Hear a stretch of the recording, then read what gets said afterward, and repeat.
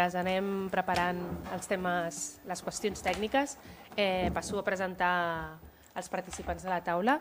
Bueno, primer la, la Sarai Martín, que és, eh, és màster en Antropologia Social per la Universitat de Barcelona i està fent el doctorat a la mateixa universitat. La seva tesis doctoral, de fet, versa sobre el patrimoni d'origen colonial dipositat en museus catalans, per tant és una peça també clau del, del grup de traficants. I bueno, ha publicat eh, eh, algunes de la seva feina del bueno, el treball de, de màster en format monografia i ha presentat el seu treball doncs, en, diferents, en diferents fòrums. Eh, tenim també eh, el Josep, que ell és escriptor de Colonial, mediador i director d'un casal de joves al centre de Barcelona, en Josep és, eh, bueno, escriu articles a diferents, a diferents mitjans alternatius com la revista Massala i Radio Àfrica Magazine i bueno, de les seves obres destaquen els, els títols Cuando los montes caminen i Nadie salva les roses. I després tenim a la, a la Montserrat, Montserrat Anguiano, que ella és artista i, i activista afrocatalana, que, bueno, que ha dedicat i dedica part de la seva de la seva obra a, a la lluita per la visibilitat i el reconeixement de la, de la dona negra i afrodescendent. Eh, la Montserrat també bueno, ha exposat a diversos centres colonials, eh, galeries a Catalunya, a Madrid, València, Galícia, bueno, per tota, tota la península i també internacionalment com a Nova York i, i a, a Guinea Equatorial. I finalment tenim en, en Lluís Ramoneda, que ell és el cap de col·leccions i conservadors d'aquest museu, ha participat en el en el projecte Switch, Sharing a Wall of Inclusion in Creativity and Heritage, um, dedicat a l'etnografia uh, a l'etnografia, als museus de cultures del món i la nova ciutadania. I en l'actualitat doncs, impulsa el treball intern del museu, que estan fent ara, uh, per a un tractament de colonial de, de les col·leccions que tenen i en relació a l'origen internacional de les col·leccions està treballant en la comunicació de les col·leccions del museu en projectes com Digital Benin, com ens comentaven abans, i amb entitats com IATSIS, eh, Australian Institute of Aboriginal and Torres Strait Islander Studies. Llavors, bueno, eh, passem a que la Sarai ens expliqui eh, bueno, l'experiència dels tallers de les taules que vam tenir de diàleg i llavors ja després passarem a, bueno, llançarem algunes preguntes, obrirem el diàleg entre els membres de la taula i després l'obrirem al públic. Vale. Gràcies, Daida. Eh, bueno, em sumaré als agraïments, eh, però també agrairé al Yusuf i a la, a la Montserrat i al Lluís que estiguin aquí, a la Daida per moderar també. Uh, intentaré, no vull allargar-me, però crec que m'allargaré. Llavors, o sigui, si, si alguna em pot parar quan, quan estigui passat temps, doncs ho agrairé. Um, vale. A mi m'agradaria començar aquesta presentació sobre les taules de diàleg intercultural, eh, atenent a la composició de, de l'equip de recerca, que és una cosa que, que ja ha esmentat l'Alberto. Eh, bueno, Eh, com veieu, com sabeu, crec que no ha passat la diapositiva, però hi havia una diapo molt guai que, amb, amb l'equip de recerca. Bueno, el que veiem és que l'equip de recerca no, comparteix una característica que no passa gens desapercebuda, no? i és que està conformat eh, des del seu inici per una majoria d'investigadors i investigadores no racialitzades, eh, sense vinculació, diguem-ne, biogràfica amb els contextos de procedència de les col·leccions que, que són objecte d'intervenció no? per part de trafic, traficants, eh, ni amb la població en la, en la diàspora no? interpel·lada pel projecte. Crec que és en aquesta limitació de base on, on situem el sorgiment de les, de les taules de diàleg intercultural o les TDIs, eh, una limitació que més enllà d'advertir efectivament eh, les discriminacions no? i el racisme estructural d'una institució universitària esdevé una limitació epistemològica evident. No? En altres paraules, eh, no podem realitzar una traçabilitat exhaustiva eh, d'aquestes peces i d'aquestes col·leccions amb totes les ramificacions no? que implica aquest tipus de recerca perquè no disposem del coneixement suficient sobre aquestes. Eh, podem tenir coneixement eh, sobre els mètodes d'adquisició, eh, podem traçar eh, com van ser adquirits i van arribar fins aquí aquests subjectes, però hi ha una dimensió emocional, vivencial i hi ha un coneixement arrelat a la memòria d'aquestes comunitats diaspòriques eh, eh que, que, que, del que nosaltres no disposem. No? Um, el projecte eh, efectivament parteix de la perspectiva no, de, dels drets humans i es fa especial ressò eh, d'una de les reclamacions fonamentals dels processos de reparació i restitució eh, cultural, els pobles tenen dret a gaudir de la seva pròpia cultura. Eh, ja ho ha dit també l'Alberto, com sabem, a Catalunya fins fa poc eh, no, no se'ls havia preguntat a, les, a aquestes comunitats diaspòriques eh, o a les persones que poden tenir, es poden sentir interpel·lades culturalment per tot aquest patrimoni que roman als museus, als museus què els hi sembla d'una banda, com aquestes són eh, explicades i exposades, i de l'altra, què els hi sembla que aquests subjectes estiguin en museus europeus eh, fora dels seus llocs de, de procedència. No? En resum, hi ha hagut una escassa apertura eh, per part de les institucions públiques i els museus de Catalunya de fer accessible aquest patrimoni a, a les comunitats. Um, bé, les TDI es van pensar com a sessions de, del que es coneix com a fotolicitació, no? és a dir, sessions de, de discussió entorn a un conjunt d'imatges. En aquest cas, dels fons fotogràfics associats a, a les col·leccions d'origen colonial del Museu de, de Cultures i de la resta de museus objecte d'estudi. Eh, de fet, eh, la iniciativa veu d'una sèrie d'experiències de, prèvies que havien vingut desenvolupant en els últims anys eh, l'Observatori de la Vida Quotidiana, que bueno, són l'Andrés i el Pablo, eh, que bueno, i és, són una de les potes no, de, de la, importants de la coordinació de traficants. Eh, vam començar al març eh, d'enguany amb, amb les primeres taules de diàleg eh, que es van portar a terme aquí, al, al Museu de Cultures. Eh, vam començar amb, amb quatre taules, dos amb persones eh, que tenien vinculació amb la col·lecció marroquina i dos amb, amb, perso amb persones amb vinculació amb la col·lecció guineana. Eh, amb, com una mena de prova pilot, no? aprofitant eh, una activitat eh, ja prevista i sorgida, eh, sorgida i coordinada des de l'Observatori de la Vida Quotidiana en el marc d'una iniciativa realitzada no? per, eh, en el marc de, de Barcelona CREA. Eh, es van realitzar tres eh, més a Guinea Equatorial, eh, una a Malabo i tres a Bata. Eh, tres o dos? Dos, dos a Bata. Eh, I finalment dues més a la Biblioteca eh, Museu Víctor Balaguer, eh, de Vilanova i la Geltrú amb persones vinculades a la col·lecció filipina. Eh, fins avui eh, doncs, això, hem realitzat eh, crec que 10, 10 tales de diàleg intercultural i està previst realitzar una altra a Banyoles eh, amb la comunitat senegambiana i es, eh, encara s'està considerant fer, eh, la, la possibilitat de fer, de fer altres. No? Um, les imatges que es van utilitzar uh, procedien de la col·lecció fotogràfica, com he dit, i la col·lecció uh, artefactual no, dels uh, museus eh, en els quals es van realitzar les, les TDIs. En el cas del Museu de Cultures del Món es tractava de, de fotografies que procedien dels fons guineans i marroquins del museu, incloent-hi algunes que procedien també dels, dels propis arxius, eh, inventaris per a l'enviament d'objectes, eh, mapes amb els itineraris realitzats durant les, expedici eh, les expedicions, etc. Um, en el cas d'algunes fotografies es podien traçar sèries corresponents a determinades eh, intrahistòries o processos que es succeïen durant algunes de les expedicions. D'alguna manera, eh, amb el suport no, dels detalls que, anava que anàvem proporcionant, no, eh, eh, diguem perquè hi havia, o sigui, a, a, a part de les participants de les TDI es va decidir que hi hagués una observadora un observador no, que formaria part del eh, de l'equip d'investigació i un moderador que no forma part de l'equip d'investigació eh, una mica per mantenir aquesta eh, distància metodològica. No? Bé, aquestes taules eh, que van, van ser gravades, eh, com veurem, estaven conformades per un rang d'uns 4 a 7 participants, amb alguna excepció. Eh, la dinàmica consistia en que bueno, se'ls convidava a escollir una o diverses imatges desplegades sense un criteri previ eh, sobre la taula eh, i eh, se'ls suggeria no, per la, eh, o sigui, i que eh, se'ls se convidava no, a que, a que, a que, a que bueno, expliquessin no, què és el que els suggeria per la raó que sigui no, eh, aquestes imatges, eh, alguna reflexió, emoció, qualsevol informació sobre el que, que s'estava representant a la fotografia o les fotografies seleccionades. No? D'aquí es van derivar debats de diversa naturalesa, no? que anaven de, des d'aproximacions a les peces i les situacions fotografiades més nostàlgiques, vinculades a la memòria i al context familiar i cultural.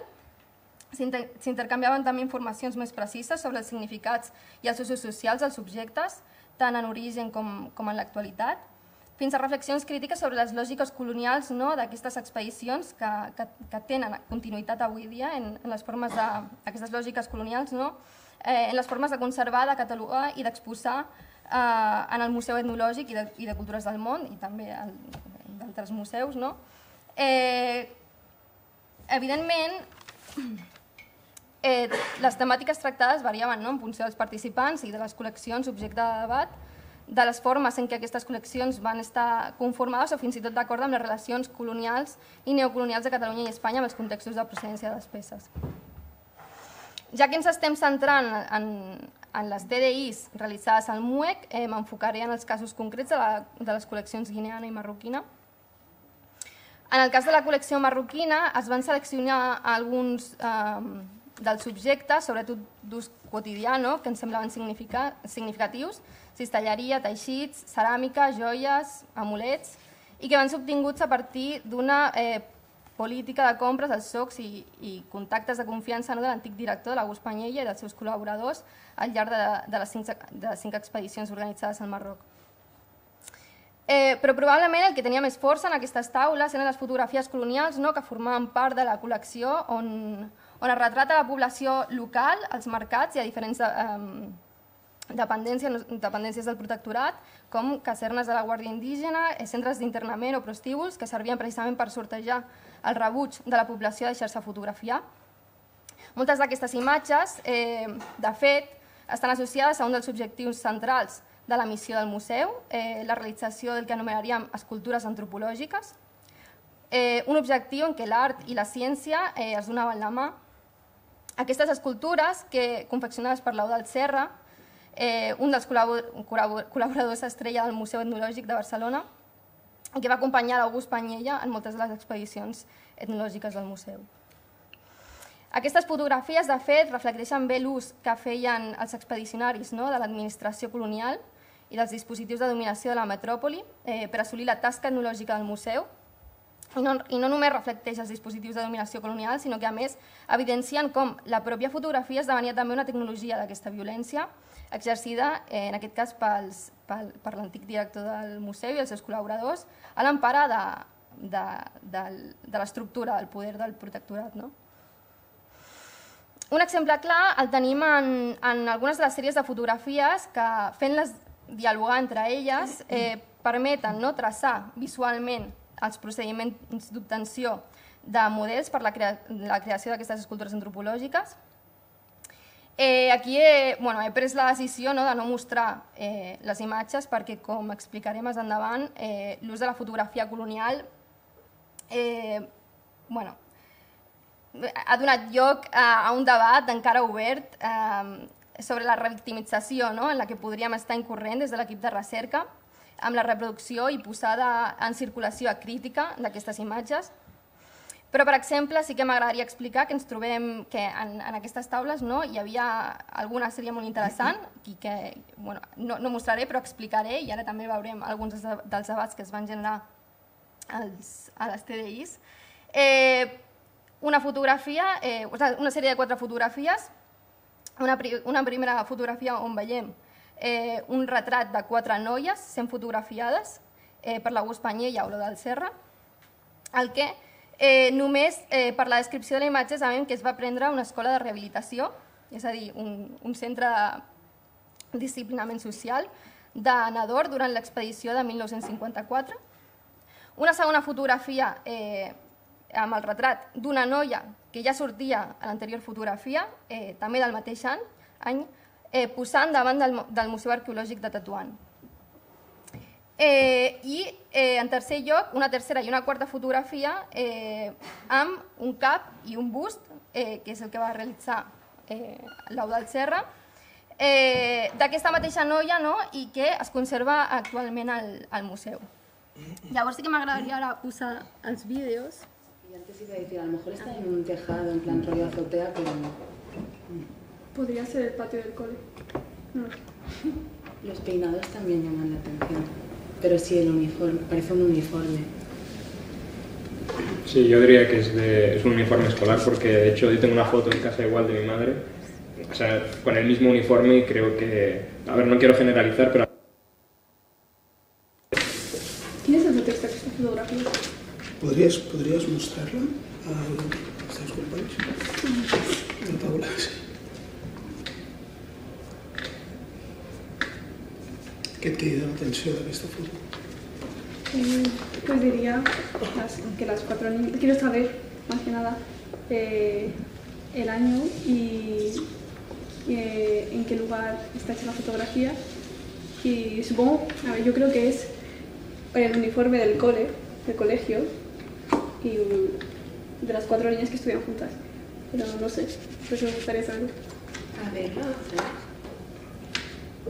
parecen hermanas. Bueno, yo me imagino que son hermanas. Y antes iba a decir, a lo mejor está en un tejado, en plan rollo azotea, pero no. Podría ser el patio del cole. No lo sé. Los peinados también llaman la atención. Pero sí, el uniforme, parece un uniforme. Sí, yo diría que es, de, es un uniforme escolar porque de hecho yo tengo una foto en casa igual de mi madre, o sea, con el mismo uniforme y creo que, a ver, no quiero generalizar, pero al menos en el pueblo de mi madre sí que ¿Y qué solía pueblo ser. es? Larache. Bueno, cerca de Tánger. Sí, también, sí, uniforme escolar, porque en nuestra, en nuestra época también estudiamos todos eh, eh, con uniforme batas blancas, todos los alumnos y Bé, alumnes. aquí, o sigui, realment, que sembla que no tingui molt interès, no? però sí que eh, estan fent com suposicions no? sobre què, perquè no tenien la informació encara de- d'on s'havia pres eh, la foto, però després, no, quan pregunten i se'ls dona tota la, la informació, és interessant com canvia el debat, no? i passaré una mica més endavant. Por ejemplo, la de la derecha me llama mucho la atención porque también podría ser mi madre en la época. Que me llama la atención. No sé si, si lo conocen. eh, eh, olvidarlo ya. ¿De rehabilitación de qué tipo? Está contenta con dónde está, o quizás por el hecho de que le hagan una foto, en cambio la de la izquierda no, o no tuvo un buen día o no sé. Bueno, sabiendo que está en un centro, pues no sé. Es como que una es tímida, la otra Exacto. está sonriendo por la foto, la otra no sabe qué hacer y la otra pues está enfadada. Diferentes estados de ánimo. Quizás era algún ¿En qué ciudad? ¿En qué ciudad? Tetuán. Tetuán, sí. ¿Cómo lo has sabido? No sé. Es, es- no es montaña que está detrás. ¿eh? Bueno, hi ha més fragments i és una pena perquè no els puc posar tots, de fet, no sé com vaig de temps. Vaig bé? Sí, sí, sí. Bueno, després si hi ha temps podrem posar més, si voleu.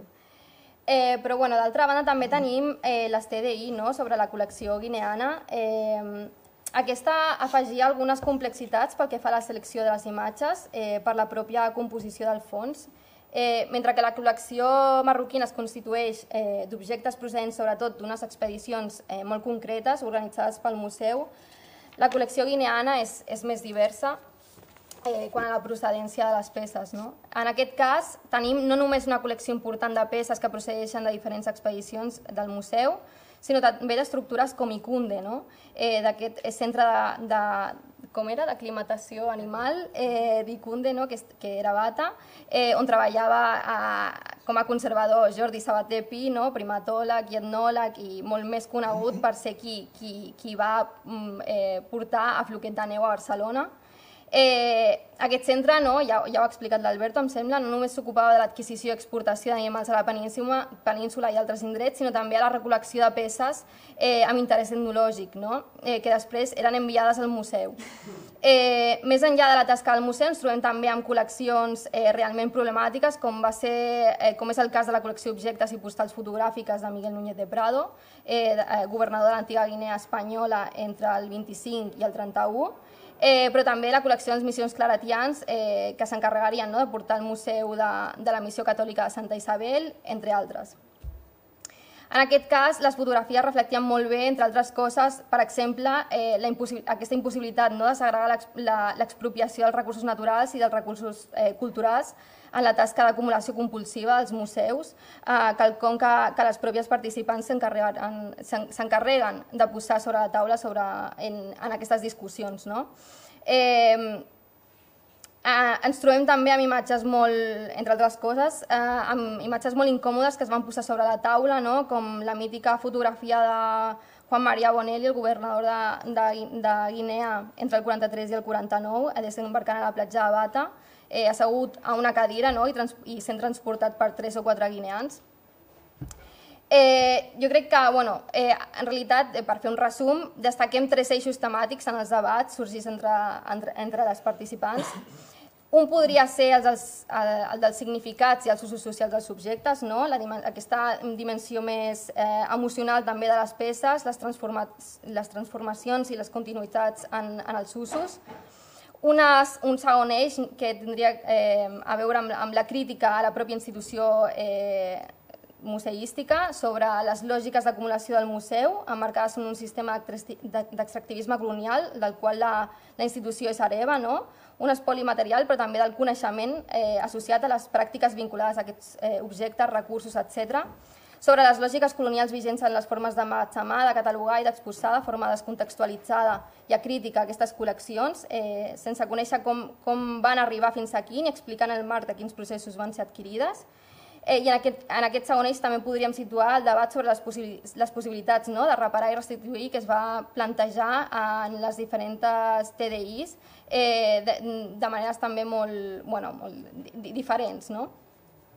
I un tercer eix, un últim eix que apunta a assenyalar, eh, crec, les continuïtats de les violències eh, colonials no? en l'actualitat, que, que trobem també eh, la seva materialització en els museus, en les seves maneres de, de projectar una imatge de l'altra, imposant un relat eh, sobre aquestes col·leccions, eh, però també, eh, cal dir-ho, de la, de la institució universitària, universitària i de les seves formes de recerca. No? Eh, M'agradaria posar alguns vídeos de, de les TDIs de, de la col·lecció guineana. Y que han disfrutado otros, desgraciadamente. Pues un poco esto es lo que yo veo aquí, no veo más. Sí, porque ahora en esa foto estoy viendo la tala masiva de árboles, porque ahora mismo a jóvenes guineanos de mi país, por ejemplo, mi padre es carpintero, ¿sí? Y mi padre me decía, no, que si ese palo es tabaca, que si ese es morero o marera o no sé qué, y esto es ceiba y eso es pino y no sé. Y me quedaba como, vale, ok. Pero los contaba que ya no quedan muchos de tabaca. Y yo, yo digo, bueno, pues me gustaría que también les hayan contado a chavales de, de, Barcelona, de Cataluña, que parte del aeropuerto de Barcelona se ha construido con madera de Guinea Ecuatorial. es, y es como que ellos ahí contemplando, como has dicho, el trabajo arduo de los demás, porque los que cortaban esa madera son negros. Las que la talaban también eran negros. Y después te dice, son maderas que salen de la tierra y no se vuelven a plantar más de estas. Como que al mismo tiempo volvemos a perder parte de nuestra naturaleza, los árboles que se están talando y se están llevando. ¿Yo cuántos árboles de tabaca vuelvo a contar más por el, por el bosque? Ninguno pero están aquí reforzando un puerto, ¿sabes? Y es parte de la historia que a nosotros se nos quita y a los de aquí no se les cuenta. Como que lo veo un poquito fatal. Bueno, em sembla interessant per aquest vincle no? entre l'expoli bueno, no? dels recursos naturals, però alhora també d'aquest expoli del coneixement no? de les pròpies població local. Eh... Bien. Eh, esta imagen, si yo la veo en un museo, siento que está, mm, que está puesta para alimentar el supremacismo blanco.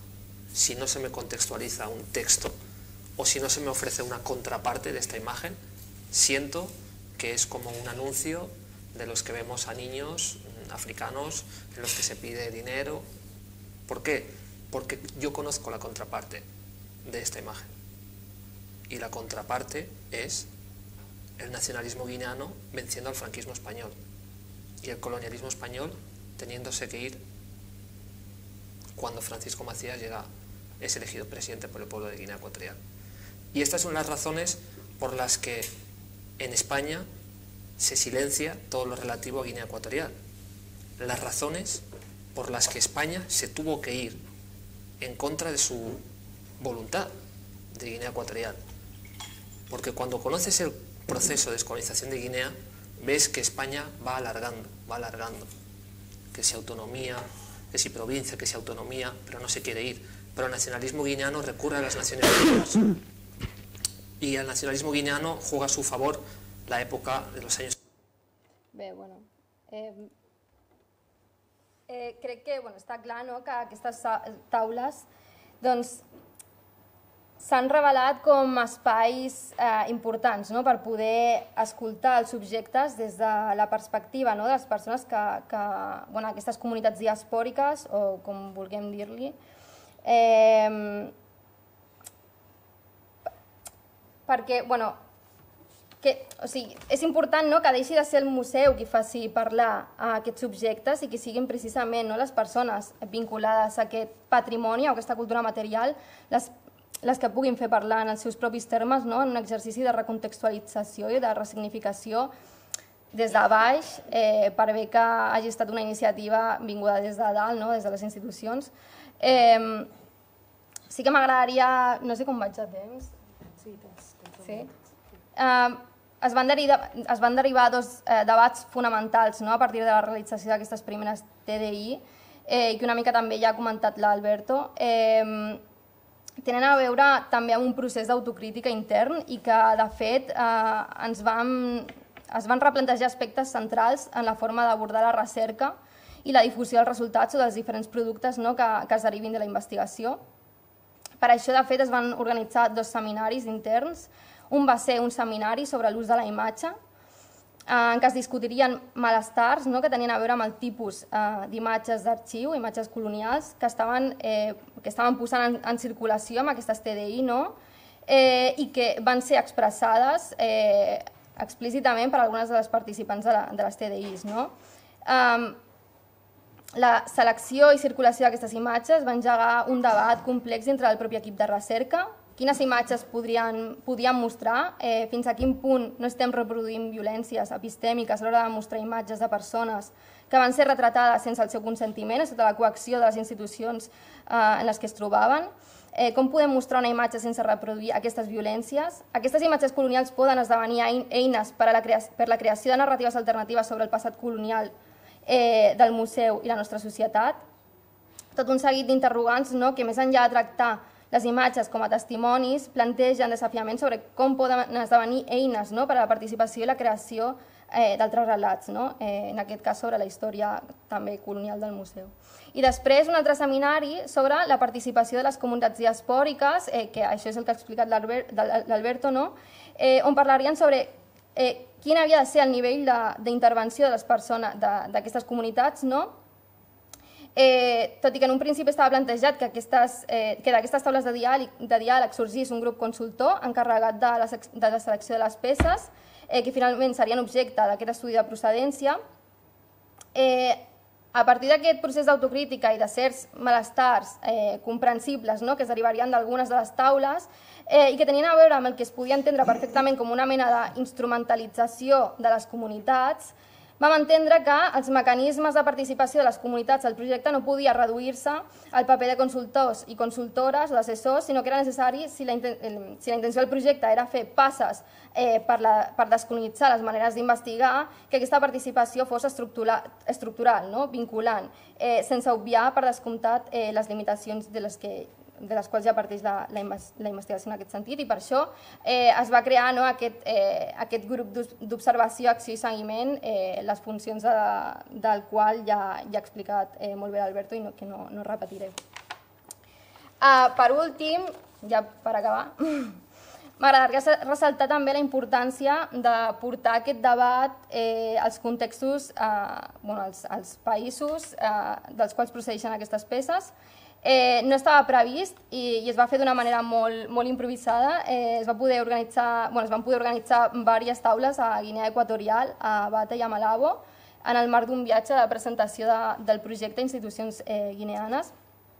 Aquest intercanvi eh, esdevé fonamental no? eh, que, que s'estableixi en la mesura del possible eh, per, en primer lloc, eh, posar-los en coneixement del llegat que roman a museus catalans, no? que avui dia té un valor eh, per a aquestes persones, eh, no només des del punt de vista patrimonial i artístic, també des del punt de vista ritual i, i cultural i altres, i en, en, en, en segon lloc, involucrar-los no, en, en, en el diàleg sobre les fórmules i criteris en què els processos de reparació i o restitució d'aquest patrimoni haurien de tenir lloc. No?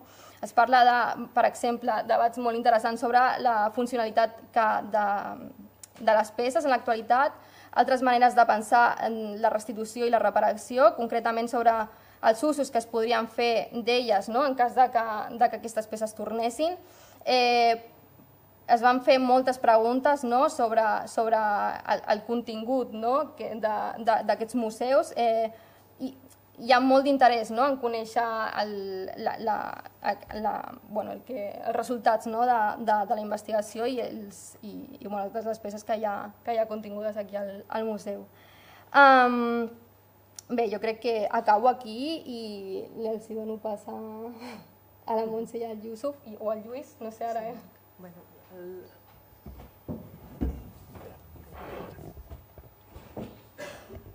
Gràcies, moltes gràcies Sarai per, bueno, crec que l'explicació ha estat molt, molt, molt bona i molt, bueno, ens ha quedat clar, jo crec, molt bé tota la feina que s'ha fet, no? I mm, una mica, bueno, en la línia, clar, l'Alberto comentava això, no? que tenim com aquests tres grups, no? per una banda les, les institucions museístiques, que en aquest cas bueno, tenim aquí representades i que han expressat i queda clar la seva voluntat d'acció respecte a tota aquesta temàtica, però bueno, com que també tenim aquí no? eh, representants d'aquestes comunitats diaspòriques, i, i ha sorgit, no? també s'ha comentat, tant l'Alberto com la Sarai han, han, han, han parlat de tota aquesta de, de tot aquest procés que s'ha fet en el, en el projecte per entendre quina era la vinculació que, que han de tenir aquestes comunitats. Jo volia començar preguntant-li al Josep i a la, i a la Montserrat eh, bueno, quan ells van rebre no, aquesta invitació a formar part no, d'aquestes taules de diàleg, tenint en compte que això és abans de que de molts d'aquests canvis que s'han parlat, de que, que es creés el GOAS i tot això, no?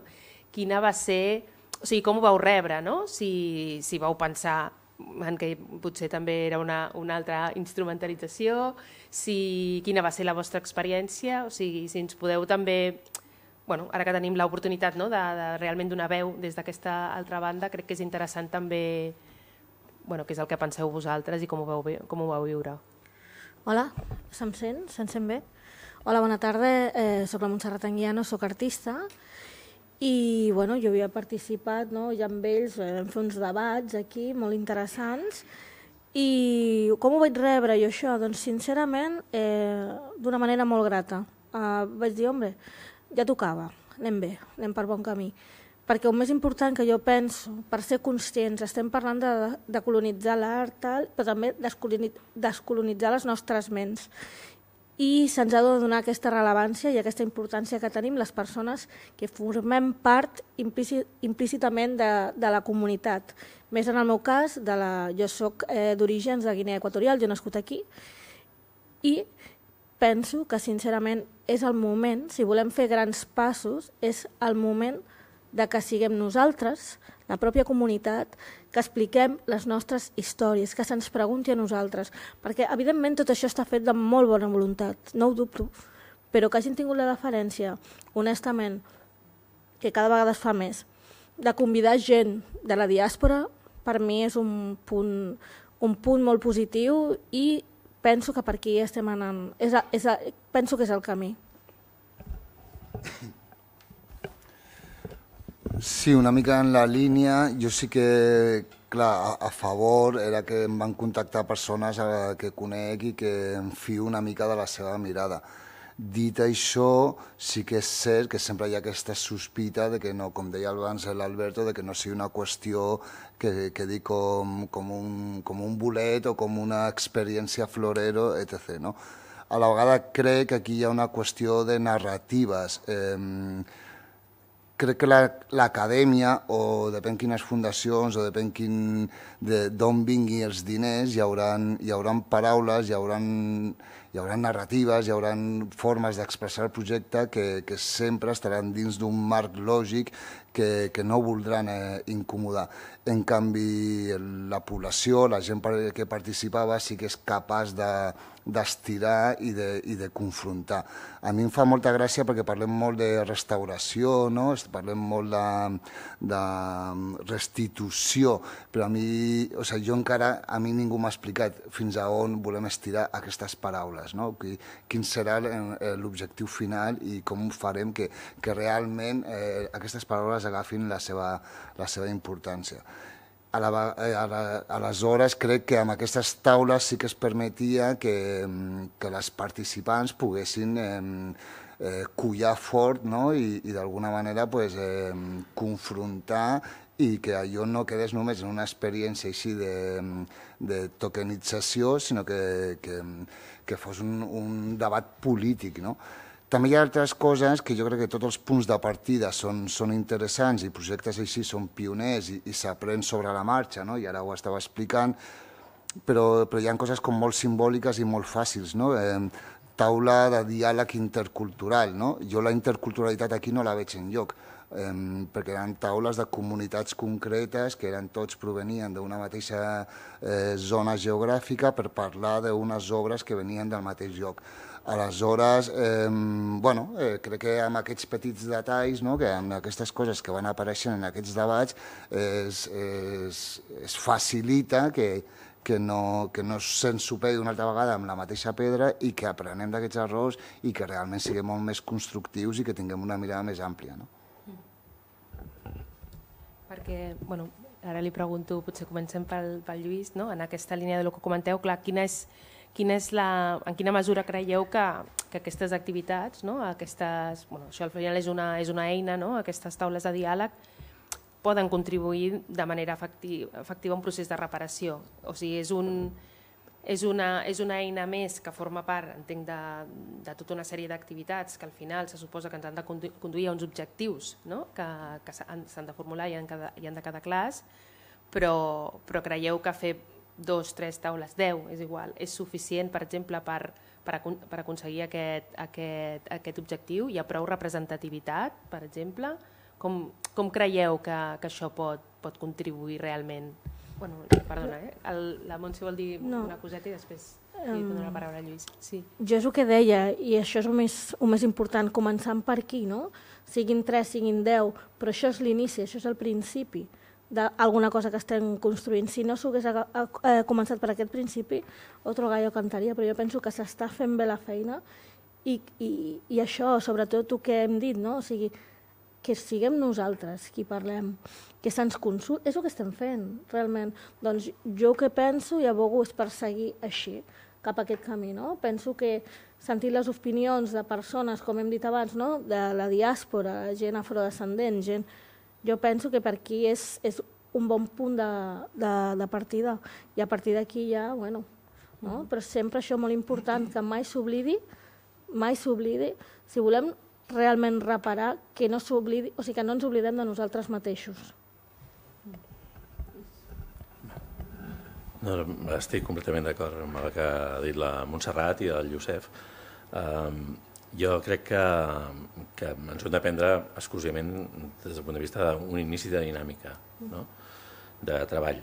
Estem a les Beceroles, jo crec que hem de dir-ho, estem a les Beceroles, eh, el museu està des de fa uns anys donant, té una certa trajectòria eh, de, de tocar aquests temes, però mm, discontínua i, i, no, i no completa, diríem, no?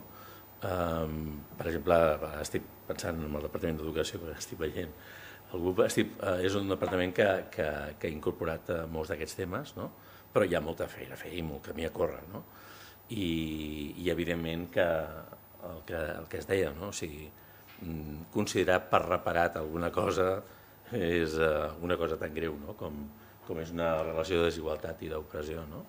com és la colonialitat, uh, no es pot resoldre fàcilment, uh, ni es pot dir que s'ha resolt fàcilment, i sobretot ni tan sols ho podem dir des de la institució que s'ha resolt que som una part, no? uh, art i part, no? d'alguna manera, no? del tema. No? Per tant, fins i tot l'avaluació d'això que jo entenc que hauria d'haver-hi potser un procés també d'avaluació, és a dir, dinàmiques, però veure, avaluar com el museu també i les institucions estan digerint no? i estan compenetrant-se no? amb, amb, el, amb el que es treballa i el que es diu i tal, no? doncs eh, ens hauria d'anar apropant a un escenari ja més positiu, no? però jo diria que és el començament. Eh, diria que, que ara també és veritat que el museu ha tingut la sort en aquests últims anys de que hi ha algunes dinàmiques que l'han portat, l'estan portant cap aquí. Eh? Comento només si, si et sembla que puc o... Sí, sí, sí. sí? No, sí, sí. Val. O sigui, ja des de fa uns anys eh, el museu va començar a participar en projectes internacionals que debatien amb altres museus d'etnologia aquest tema i va ser el primer contacte que vam tenir amb els conceptes de, de colonialitat, diàspora en profunditat. Eh? El primer projecte va ser aquell que dèiem el Taking Care, on vam coincidir amb altres museus europeus que estaven molt més pistats que nosaltres, no? perquè havien tingut els debats ja abans, no? i aquí cal dir que una mica, jo crec que l'Alberto ho ha situat, no? o sigui, de fet, tot això és una onada, no? és la, la onada dels moviments de, descolonitzadors no? que ens està arribant des del, dels 50-60 no? i està arribant i l'onada aquesta que ara està en marxa perquè queda molt per canviar. No? I els museus europeus la van rebre, alguns dels museus europeus abans, no? ells tenen fins i tot mm, molta, aquesta, la pràctica, per exemple, de, de grups focals com el que heu practicat i tal, és una pràctica de, de fet habitual. De fet, en el Taking Care, el museu ja va fer una, una, una experiència similar que es deia Diàleg amb Àfriques uh -huh. i no estava centrada clarament en la decolonialitat, però sí en un concepte que, que es debatia de forma paral·lela al de la colonialitat, que era el d'autoritat, el qüestionament de l'autoritat del museu, no? que ve del mateix, eh? de tots els, tots els moviments de, de crítica a les institucions a la, a la, i al colonialisme que s'han donat. No? I aleshores, això era, un, de fet, la crítica a l'autoritat i la, i el reconeixement de la diàspora i el paper de la diàspora eren pràcticament els dos eixos del, del Taking Care. No? I això, de fet, d'alguna manera ja va ser la primera entrada en aquest debat i, en definitiva, el que es tracta és d'això, de, de considerar que eh, el museu ja no té l'autoritat, d'alguna manera. Eh, no ha de tenir, com a mínim, l'única autoritat, això segur que no, val? i que l'autoritat ha de ser compartida amb les comunitats. No és fàcil de fer, eh? això no és fàcil de fer i no, no ho hem resolt amb, amb aquests diàlegs, no? ni segurament en tres més ni, ni en cinc més, però sí que si hi ha alguna manera de fer-ho és, és anar avançant en aquest sentit. No? O sigui que jo crec que, que sí que estem al camí reconeixent que, que estem a les Beceroles des del punt de vista de la institució, eh? no, de, no dels moviments socials que sí que, que són els que d'alguna manera estan al capdavant i l'acadèmia també doncs, bueno, sempre està una mica també més, més endavant. No? Josep, no sé si tu volies afegir alguna cosa. No. No? Vale. Sí, bueno, és que ara que has comentat això de, del, del tema de, la, de, de traslladar o, o compartir aquesta autoritat amb les comunitats, què penseu, eh, clar, perquè el, el, els museus sí que, sí que estan, estan organitzats, no? són una institució, en canvi les comunitats com a tal, no? No, no, són una, no són una comunitat organitzada, és, és, és, és bastant virtual, no? com si diguéssim.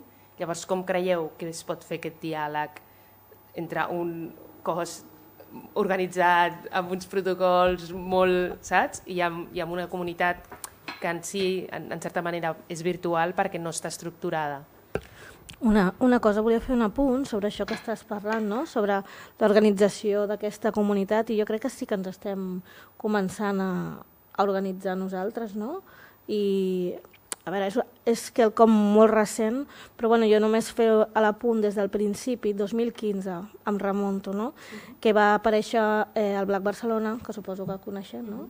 Això ja va ser una manera de començar-nos a organitzar i jo, per exemple, no em vull extendre, però jo soc una, he nascut aquí a Barcelona, adoptada per una família eh, catalana, no havia conegut mai gent negra, tot el meu entorn era blanc, fins que vaig anar a aquestes trobades no? i vaig conèixer eh, gent com jo, de la diàspora, gent afrodescendent d'aquí, catalans i, i espanyols. Des del 2015 jo em remonto fins ara i cada vegada hi ha més organització, està la CENAE, coneixem, està, uf, no sé, organitzacions de gent senegalesa, organitzacions està, o sigui, la gent, o sigui, tot això està ressorgint, això està s'està cuinant i jo crec que és bastant palpable ja i es, i, i s'està materialitzant, eh, no oblidar, o sigui, jo, jo crec que té tot, tot, tot el sentit, no?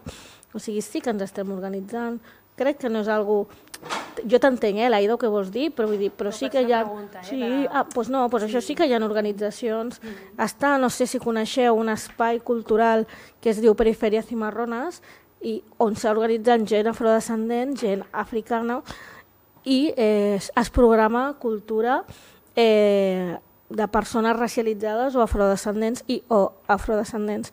Penso que això és... I s'està donant, donant el, el seu lloc, no? Eh, sembla que ara els medis, els mitjans, comencen a interessar-se. Queda molt, com hem dit abans, exòtic, no? això de, de que ens estem organitzant i que fem uns espais... Coi, però és que per què s'ha tingut que fer això? Perquè és que no trobàvem el nostre lloc, no se'ns ha donat el nostre lloc.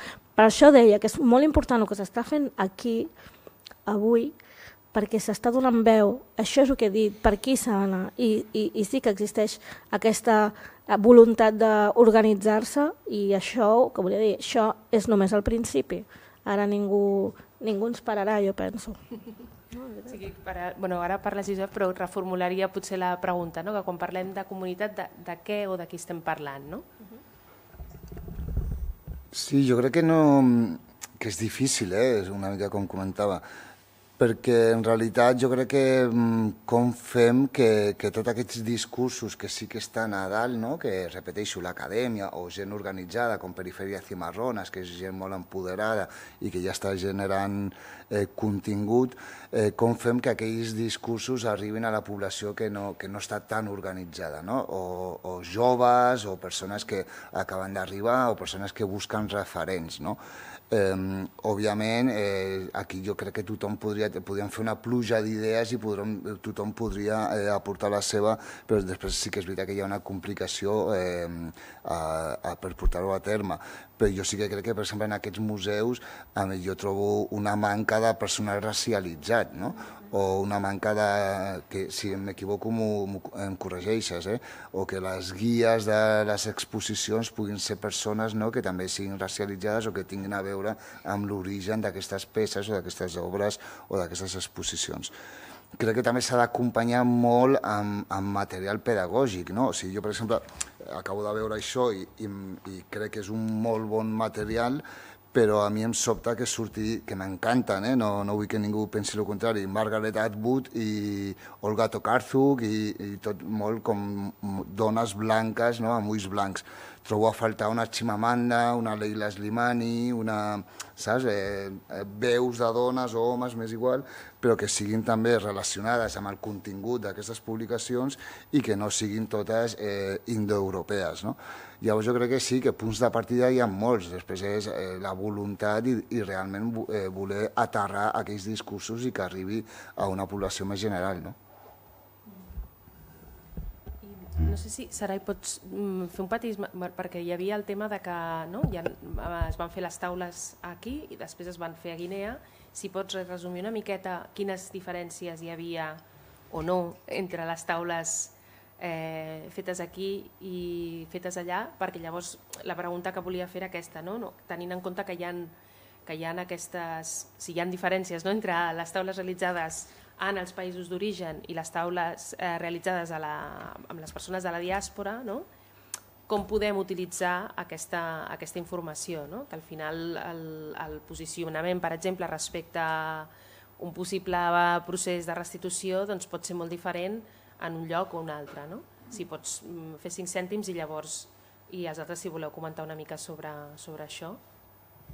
Vale, um, no ho tinc molt sistematitzat, però Bueno, sí que, de fet, el que, no sé, si l'ús que hem de fer d'aquesta informació no, a l'hora de pensar en possibles... Ah, se m'escolta igual? Bueno, hola. Eh, a l'hora de quin ús s'ha de fer d'aquesta informació no, sobre les diferències que hi ha entre, entre les taules aquí i allà, no?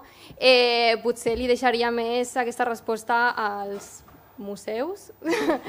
eh, I, bueno, en realitat hi havia molts punts en comú, però hi havia dif- diferències substancials no? que sí que, que eren interessants i que, clar, no, no les podré no, no puc fer un llistat aquí ara no, d'aquests eh, temes i d'aquestes diferències, però per exemple aquí eh, em donava la sensació i les persones de l'equip que no sé si heu vist, que, que, bueno, que, que segur que heu, vist els vídeos, potser podeu afegir alguna cosa més, però eh, em dóna la sensació que, que les TDIs eh, de, les de la comunitat guineana aquí no, eh, hi havia un coneixement potser més eh, més profund no? de tota aquesta qüestió eh, de, de les reparacions, no? de la restitució i de la necessitat de descolonitzar els museus i diguem-ne que les crítiques no? i anaven molt més en aquesta línia no? d'obrir de, de, d'obrir el debat sobre, sobre com s'hauria de reconfigurar no? els, eh, els discursos museístics, eh,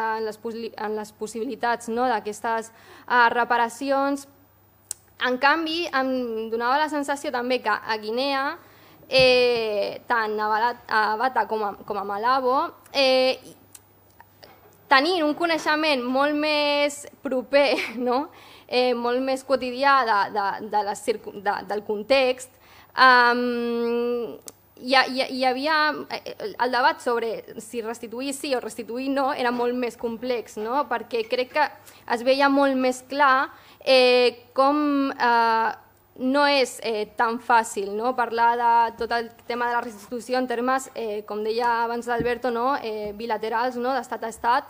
Eh, de fet, ens va sobtar moltíssim no? tota aquesta reflexió d'algunes de les participants no? que deien eh, directament que potser no seria molt bona idea no? que, que certes peces tornessin a, a Guinea. Si m'equivoco em, em corregeixes, eh? però que, que certes peces tornessin a Guinea precisament pel tipus d'ús, no, no, ja no pel tema de la conservació, que també es va esmentar, però que crec que és, és un debat molt més complex, però, eh, sinó per el tipus d'ús que es podria fer per part de l'estat guineà no, d'un determinat tipus de peces que eh, encara podrien tenir funcionalitat ritual. No? Eh, no sé, s'incidia moltíssim en tot el tema de, de, dels usos no? i els significats de, de, dels subjectes no? que, que encara, eh, que, que, bueno, que encara s'utilitzen allà, evidentment, no? perquè molts són d'ús quotidià. Eh, també es parlava, o sigui, hi havia també no? eh, eh, persones, participants que, que estaven molt molt al dia no? dels debats sobre la restitució. De fet, no sé si tinc temps per posar una, un fragment de vídeo. És que se m'ha oblidat abans, però és que era molt, és molt interessant. és del CIALE. Las compraventas, entran las confiscaciones, entran, las, entran muchas cosas en el concepto de expoliación, que es la idea con la que yo manejo toda esta información.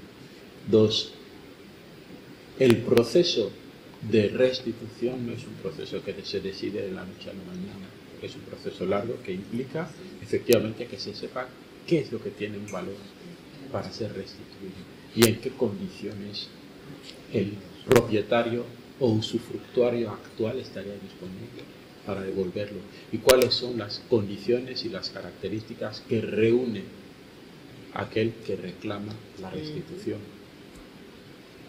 Entonces, yo pienso que esto. Y lo tercero es efectivamente aceptar que aquellos bienes que tuvieran algún valor religioso, cultural, etcétera, etcétera, aceptemos su muerte y que si se restituyen, se restituirán como objetos de historia con ese valor histórico y ese valor artístico. Yo es lo que vengo manejando desde que estoy tocando un poco el tema de la exposición. No sé si respost, però... Està clar que aquest, aquest, eh, aquest fragment està dins d'aquest context i de lo que estem parlant, però mm, crec que s'ha de treballar molt aquesta idea, no? perquè també depèn com també podem seguir allargant aquesta idea d'hegemonia cultural, de que nosaltres ho fem molt bé i si les peces tornen, eh, eh, vés a saber. No? Crec que aquí mm, és, és, jo crec que falten veus de la, que crec que tu nombraves alguna vegada, de la indisciplinària, no? o sigui, de la, de la indisciplina, de que parlin aquestes veus que no tenen aquests discursos aprens, apresos, no? que, que siguin més de d'això, que ho hagin viscut en la primera persona però sense ser veus que nosaltres autoritzem perquè és, ja et dic, gent que ha estudiat o que sap de, del tema o que està polititzada jo sempre vaig pensar que en aquestes taules de diàleg eh, hagués tingut molt més sentit que estigués ma mare, eh, persona analfabeta, que, que etc, etc, etc, però que segurament totes aquelles peces, o gran part de les peces que ens van mostrar, ella sí que sabria trobar-hi certa traçabilitat i cert humanisme en aquelles peces. No? Al final nosaltres estàvem teoritzant d'una manera dins eh, d'aquesta lògica eh, acadèmica. Llavors, a mi això sí que sempre m'incomoda una mica, no? de, com, de com fem que, bueno, el que deia abans, no? de que com aquests discursos de dalt baixin i com els discursos de baix eh, pugin. No? Llavors aquí, òbviament, m'interessa molt aquesta veu i crec que és una veu autoritzada i m'agradaria veure tot el vídeo perquè segurament té molt d'interès, però crec que també podem caure en, aquestes, eh, en aquests discursos de, hegemònics de ja està bé que es quedin allà, no? Perquè si es queden aquí, vale, de quina manera? es queden. No? Farem un gran museu de colonial i, i traçarem un, o sigui, traça, i farem una traçabilitat que, que tingui que, que posi noms i cognoms a tot, no? perquè una cosa que també tots sabem és qui són els propietaris o quins són els museus que tenen aquestes, eh, aquestes peces o aquestes col·leccions, però, ning, però tots els artistes o artesans són anònims, no? Llavors, això també genera molta incomoditat i a mi eh, pues és una cosa que, que veuria com algú molt positiu que realment pues, poséssim nom a aquestes coses. No? A veure, jo crec que un dels grans problemes que hi ha a Guinea Equatorial és que la falta de cultura, la falta de... Crec que hi ha no hi ha una motivació a conèixer realment quin és el passat i anar cap a un present o un futur diferent. Ja no interessa tampoc que, la, que el poble sàpiga massa. Llavors, els intel·lectuals allà eh, estan perseguits, molts estan perseguits i han tingut que marxar.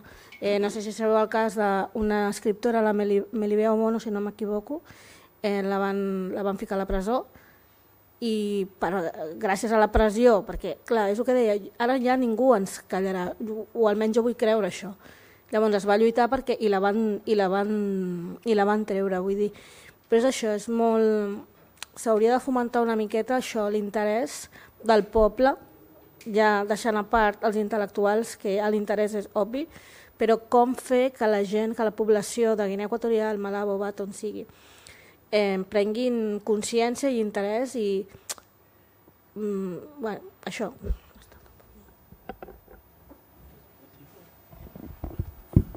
No, M'interessantíssim tot el que dieu. Eh? Uh, jo abans és que una, una cosa que m'he deixat de dir, no? que dins de la sort que hem tingut una mica de trobar algunes dinàmiques que afavorien la reflexió de, de tot això, no només de la criminalitat. Eh? Una altra és de que uh, institucionalment uh, lliga amb allò que deies, com, com ho farem? No? No, val? Uh -huh. Doncs, bueno, mm, irremediablement de trobar socis i aliances. Uh -huh. vale? uh, per exemple, una aliança és amb l'acadèmia, no? eh, claríssimament, amb, amb aquest de, de treball que estan fent. No? L'altre és internament a l'Ajuntament es dona el cas de que eh, hi ha un departament d'interculturalitat que fa una tasca que encaixa força amb, amb tot els, el que necessitem de mecanismes de canvi i de reflexió. No?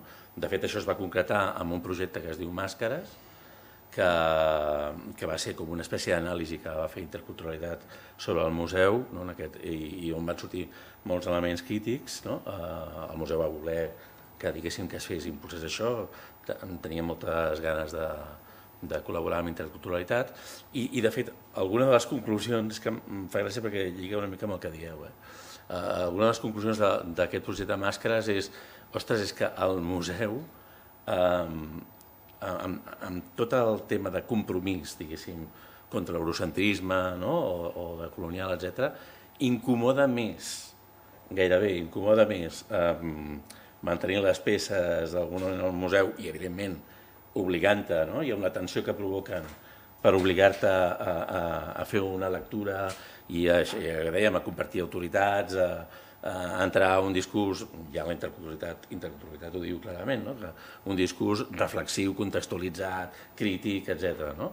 Eh, que el diàleg sigui una cosa permanent i no un, un fet aïllat. No? Que, que hi hagi equitat, eh? que hi hagi mm, prioritat a, a la diversitat. No?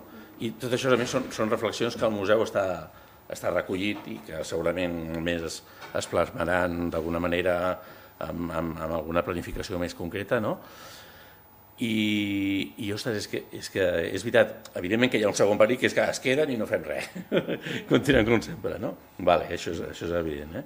però entenc que, que més enllà de que, més, que algunes peces igual s'arriba clarament a la, a la, a la conclusió de que, doncs, de que és millor tornar-les i tal, però m'agrada, i això també ho deia, em sembla, la persona que, que intervenia, no? que no s'ha d'entendre com una cosa senzilla, i sobretot no s'ha d'evitar caure en el perill de, bueno, bueno, doncs vale, tornem i llestos, eh? ja s'ha tancat el tema, passem, no? Mm, no, el, el tema està allà, les peces estan allà, per tant el tema estarà sempre allà, jo entenc que eh, l'existència de les col·leccions i de la necess necessària reflexió és com un compromís eh? um, uh, obert i, i, i continu, no? que sempre, sempre evidentment, que, que ha de tenir aquest enfocament uh, crític i, i de canvi. Eh? Per la...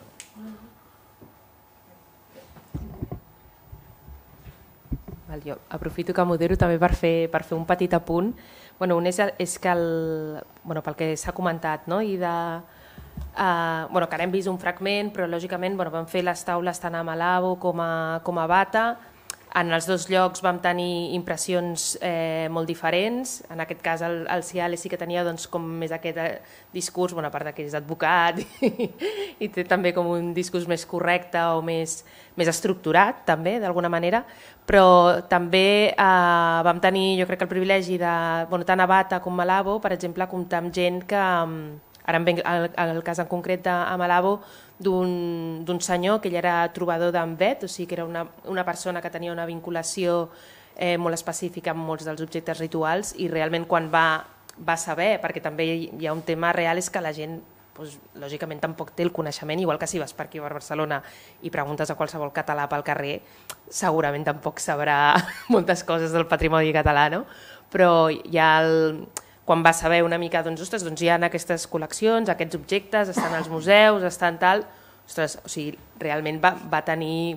O sigui, va entrar en xoc i, i realment, bueno, les paraules textuals que va dir, doncs, que era una aberració, no? que realment aquest material estigués, aquest patrimoni estigués a, estigués a Barcelona. No? Llavors sí que, per una banda, sí que fer l'apunt aquest, no? de, que, de que quan es dona a conèixer que aquest és una de les feines, doncs, la gent lògicament té, té reaccions, després que també vam tenir l'oportunitat de veure petites iniciatives no? de gent que s'està organitzant i de bueno, gent de la societat civil que s'està organitzant també per tirar aquest tipus de, de projectes endavant, no? I, i després hi havia també una demanda molt específica de la gent, doncs, òbviament, que fa, que fa recerca, que, que estudien antropologia, història o el que sigui, que, clar, realment que a través que la primera vegada que vegin segons quins, segons quins objectes sigui a través d'unes fotografies i que no tinguin accés doncs també era un problema, perquè això també el que fa és que tota la recerca també es polaritza no? en el, a Europa i la gent, a, en aquest cas a Guinea o al Marroc, doncs no, no, no pot avançar en, en, en els seus estudis perquè no tenen accés tampoc a, te, a aquest patrimoni. No? Llavors hi ha tot aquest tema associat també de no només el, el tema físic del patrimoni que està, que està físicament desplaçat, sinó que a més a més la, el, el pensament, les reflexions i tot també és, eh, es dificulten molt més perquè no es té accés a aquest patrimoni.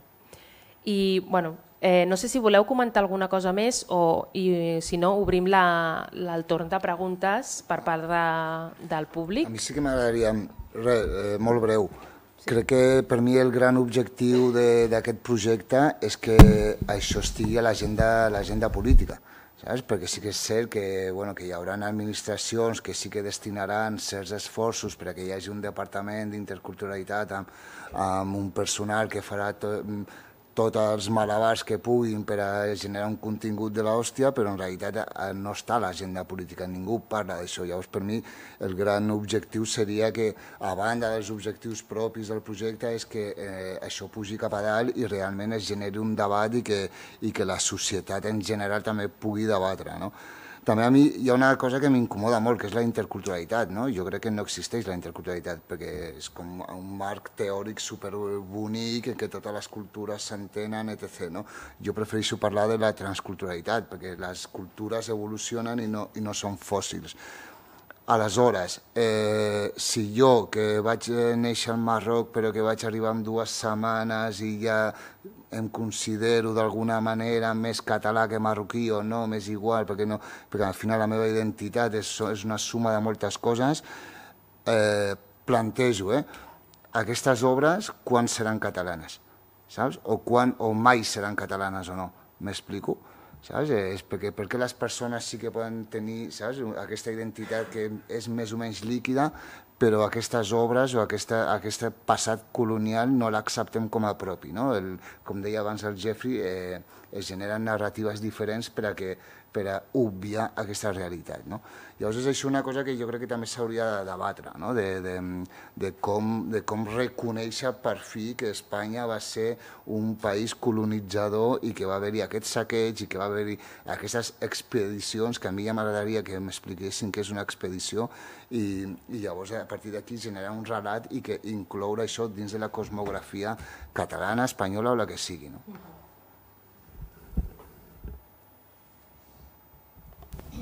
Obrim el, el torn al, al públic. Jo puc començar fent sí. una, una pregunta.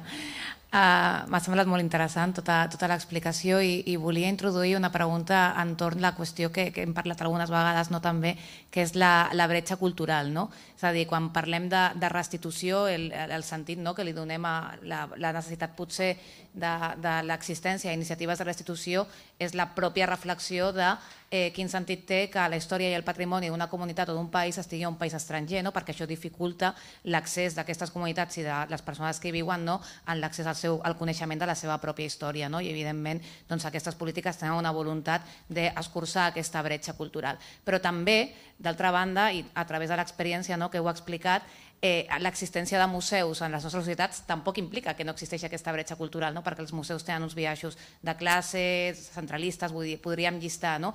I, de fet, jo volia preguntar, doncs, eh, eh, justament existeix aquest museu no? que té un patrimoni de comunitats filipines, guineanes, eh, marroquines, etc. però quina relació prèvia teníeu vosaltres amb aquest museu, el coneixement d'aquestes col·leccions no? I de les comunitats i també quina reflexió hi havia des del propi museu no? sobre aquesta realitat que, que és evident no? i que és un problema que, que, que, que, bueno, que, té, que té una àmplia no? també eh, trajectòria de reflexió. No? El tema de la qüestió de la, de la, de la bretxa cultural que implica, no? diríem, l'acumulació la, la, d'aquest patrimoni eh, d'un país país en, en un altre, però també el, que, que la realitat de l'existència de la pròpia institució no implica que aquí en la nostra societat no existeixi també aquesta bretxa en, en la relació amb el museu. No sé si m'he explicat bé, però... No, no, no sé si l'he entès del tot bé, eh? però o sigui, sí que evidentment que és cert el que dius que de, de la bretxa aquesta cultural eh, en relació als museus, que jo crec que els museus és un, un problema que tenen ja quasi i independentment de, de, del, del tema de reflexió de colonial, eh? que, que, bueno, que tenen un problema a vegades de, de públics, d'arribar a la gent, no? etc. No? No, no sé si, si hi ha per aquí. Hi ha sobre amb els biaixos eh, culturals o, o, o de classe fins i tot, no? eh, doncs, doncs encara, encara mm, tot això té, té una, una dimensió més estructural, no? que és el que, el que en el fons jo crec que hi ha. Eh? Aleshores, eh, clar, aquí hi ha potser els límits de lo institucional, no? Des de la institució sí que es fan pràctiques, eh, eh, potser en aquí altres departaments són més els que estan més en el eh, peu del cano d'això, no? pensant en, en el Departament d'Educació, el de Comunicació, etc. No? El, de, el de programes públics, naturalment, no? tots els programes públics, eh, i que d'alguna manera en la mesura que vagin assumint aquests debats no? i de que sigui positiu l'avenç o l'assumpció de, de, de, la, de les reflexions que dèiem, potser sí que s'estarà en condicions de superar-ho. El que no, sí que, no sé dir-te jo quines fórmules, i que no em sembla tampoc senzill, no? la veritat. Eh? No us centrava particularment en la qüestió colonial, sinó que crec que és un tema més, més, més estructural no, dels museus, però sobretot això, l'existència d'aquest patrimoni aquí i el desconeixement per part de les comunitats no, de l'existència d'aquest patrimoni i, i, i, la, i la, la, la, la, la importància no, de fer aquest tipus de, de tallers de diàleg no, per donar-lo a conèixer i intentar escurçar aquesta bretxa, però és això, que la reflexió de la, de la pròpia restitució no implica tampoc la, aquesta, la inexistència no, d'aquesta realitat o la reproducció. Bueno, jo que, jo que treballo amb joves, sí, o sigui, sí que veus que realment eh, eh, les institucions com poden ser un museu és una, són espais que no, que no, que no els criden, o sigui, que no se senten atraïts per aquests museus també jo crec que insisteixo molt que hi ha una qüestió de narrativa, no? de una, hi ha una qüestió de, de realment de que el que es trobin allà, que ho puguin entendre cadascú a la seva manera i encara que sigui d'una manera abstracta, però que d'alguna manera es, es pugui aterrar. No? Veiem pues, això, veiem que, que hi ha aquesta falta de referents, aquesta falta de, d'artistes racialitzats o de discursos diversos, de... no vull caure en el victimisme ni en la queixa ni molt menys, però sí que no veig que eh, parlem molt d'una ciutat multicultural, etc. Oh, que bonica és Barcelona, però després en les institucions no ho veus reflectit. I això un jove està clar que no ho veurà. I jo crec que, que el focus, jo crec que el principal, perquè és on més hi ha la bretxa, seria, mm, seria pues això, incidir amb els joves també crec que també caiem en l'error de que tothom va als instituts, no? de que tothom és com si el, eh, fos un cul de sac i tothom vol entrar als instituts com un, com un elefant en una catxarreria i oferir mil coses i etc. No? Llavors també sobresaturem aquesta, aquest recurs. Aleshores, jo crec que sí que ha, pues, insisteixo, no? eh, tampoc veig que a l'agenda política els preocupi si els museus estan buits o no. Saps? Eh, pues els preocupa que el dia de la pedazo d'inauguració puguin anar i fer-se la foto. No? Llavors jo crec que aquí hi ha un... Bueno, pues que a nivell cultural hi ha un desviaix, però perquè no li interessa a ningú en realitat. Hi una cosa que m'agradaria apuntar i que reflexionem, eh, perquè quan parlem d'obres d'art que són art tribal, de més, eh, ho considerem i es diu com artesania i no com una peça d'art. Vull dir, aquí ja... Vull dir, per mi això és molt... Ja, ja ens està indicant la diferència que es fa en quan sabem que moltes de les obres d'art de pintors com Picasso, Modigliani, Miró, eh, estan influenciades directament, copiades, apropiades, com vulguem dir-li, d'aquest art africà, aquest art tribal, i perquè una cosa és artesania i l'altra és art contemporani. Vull dir, jo no sé si sabeu, però un dels negocis que mou, negoci no m'agrada dir bueno, però que mou més diners és l'art tribal i eh, a part no... però són, són peces, són peces d'art totalment anònimes. I eh, gent que comercia amb aquestes peces d'art o sigui, es lucren totalment, o sigui, és, és que no sé si podeu arribar a imaginar la quantitat de diners que mou. Llavors jo aquí demanaria, si plau una mica de consciència i, i ser realistes. També són obres d'art. Vull dir, és l'origen de, la, de moltes de les obres d'art. Alguna paraula més? Em sap greu perquè volia ser breu, perquè no volia preguntar res. um, el projecte em sembla molt interessant i, i que em fa pensar moltes coses, però sobretot volia agrair la taula. Eh? M'ha agradat molt tot el que heu dit.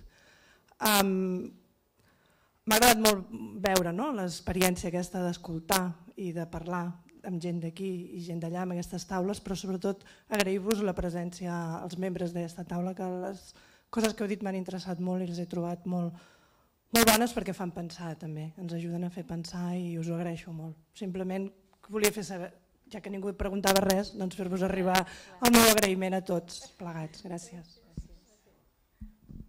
Hola, perdoneu, eh? Uh, jo sí que us vull... Una, no, no és una pregunta, eh? El, el, de tot el que hem estat parlant, al principi jo us explicava la feina que tenim, si em permeteu l'expressió, a la cuina a l'hora de documentar i treballar i fer recerca sobre les col·leccions que estan en aquest museu i, i que evidentment tenen procedències molt diverses, donacions, compres... Eh, el que passa és que Heu sentit com parlàveu, oh, la comunitat, no sé... Un dels fracassos de tots els museus, però del nostre, evidentment, perquè ara estem parlant d'això, és eh, aquesta proximitat. És un, una línia per a nosaltres important, però no només amb les comunitats d'origen que ara viviu a, a, a Barcelona, sinó amb el veí de la cantonada. És a dir, eh, l'esforç d'aconseguir trencar aquesta barrera que presenta els museus com una cosa elitista, i que en realitat els museus han de tenir una altra funció molt diferent.